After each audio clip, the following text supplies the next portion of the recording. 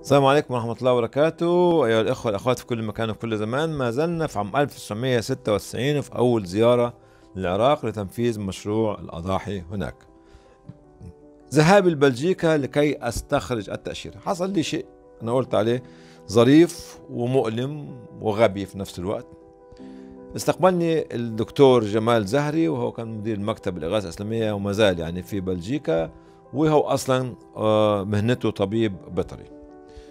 وذهبت إلى المكتب معه وقعدنا أكلنا إلى آخره وأكرمني كل الكرم ورحنا أخذنا التأشيرة ورجعنا إلى آخره لأن السفير العراقي كان منتظرنا.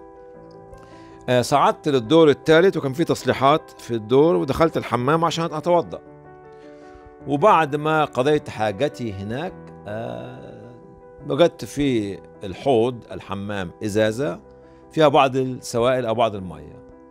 فزودت عليها بعض المية وخدتها عشان آه، عملية الاستنجاء. ولقيتها إنها لزجة شوية لكن ما خدتش بالي يعني. المهم يعني توضأت ونزلت وصليت. وكان عندنا ميعاد آخر نذهب إليه وأنا في العربة مع جمال بدأت أشعر بسخونة.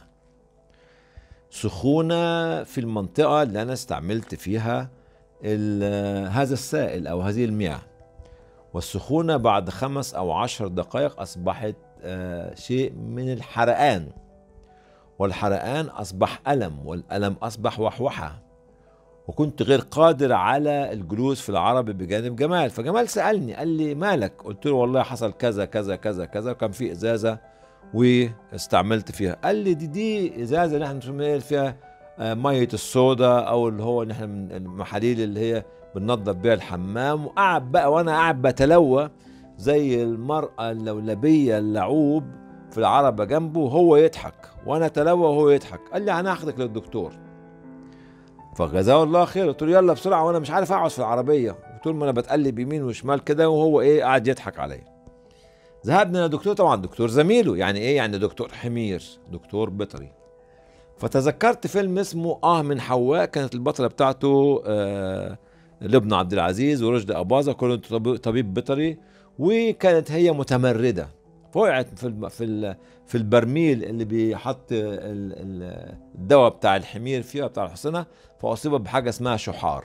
فأنا جمال جزاه الله خير فكرني بهذا الفيلم وكأنني هاخد الحقنة الحمار من دكتور الحمير لأن أنا عندي شحار. فيعني فضل اليوم ده أنا ما بين الألم وهو يضحك لكن الحمد لله زميله آه، آه، يعني دكتور الحمير الآخر آه، أعطاني كورتيزون بدأ على قبل منتصف الليل كده أو قبلها بشوية يهدأ الألم ويتوا- ويتحول إلى إلى راحة يعني. وأنتم عارفين السحر بتاع الكورتيزون. فكان ده أول خطوة آه، يعني من الألم من أجل زيارة آه، آه، العراق في هذا العام. مع علاقتي مع حمامات بلجيكا كانت جميلة جدا جدا. في زيارة أخرى لمكتب بلجيكا ذهبت هناك وبعد تمام العشاء دخلت ال- الغرفة بتاعتي في في الأوتيل. ففتحت الباب ودخلت فتحت التلفزيون وحبيت أقعد بقى إيه آه يعني أتفرج عليه. أقول لما أخش الحمام. قفلت باب الغرفة وقعدت في الحمام. لقيت وأنا في الحمام إن أنا بتفرج على التلفزيون. قلت الله يا سلام ده الأوتيل فيه كمان آه آه، تلفزيون في الحمام. وأنا كده مش واخد بالي. يا رب إيه إيه ده وانت الحمام صغير جدا. ال- التلفزيون ده إزاي؟ وجدت إن باب الحمام هو باب الغرفة. تقفل باب الحمام تتفتح باب الغرفة. تقفل باب الغرفة يتفتح باب الحمام. يعني بمعناها إيه؟ بمعناها لو أنت عايز تخش الحمام لازم تقفل آه تفتح باب الغرفة عشان تقفل باب الحمام عليك. ولو معاك حد في الغرفة بتاعتك هناك وعايز تخش الحمام يبقى هو أي حد في الكوريدور هيشوف هو قاعد. ولو أنت عايز آه، آه، تخش الحمام واخد بالك؟ أو يعني يعني مش ممكن إن أنت تقعد في يعني آه، يعني غرفة زي كده ويكون معاك واحد زميلك. يا مثلا باب الحمام هيكون مفتوح يا مثلا باب الغرفة هيكون مفتوح. وكلاهما مصيبة سوداء. هنا الدرس اللي إحنا اتعلمناه إيه؟ أخونا جمال كان جزاه الله خير كان حريص جدا على المال. كلما أمسك الإنفاق وده شيء جيد كلما ياخد بالك يعني هو استطاع أن يوفر أموال للفقراء والمساكين. جزاه الله خير. آه. لكن في بعض الأحيان أحداث مثل هذه بتكون صعبة. الأمر الثاني بتاع اللي هو ال- ال- المية السوداء أو المية الكاوية دي اللي كانت فوق كان المفروض جمال ما يحطهاش كده ولا دي لو كان طفل من الأطفال خدها وغسل بيها وشه إلى آخره كان ممكن يذهب بصرة. فلذلك أيها الشباب احذروا وجود هذه المواد الكيماوية في حوض الحمام.